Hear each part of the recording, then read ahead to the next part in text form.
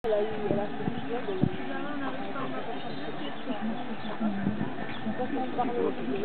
problème Ashville, Monteneige de Saint-Paul. Ouais. Elle est quand même moins bourrin qu'un canton, hein, parce qu'elle ah aura un euh, oh le char. Ça, c'est un char. Ah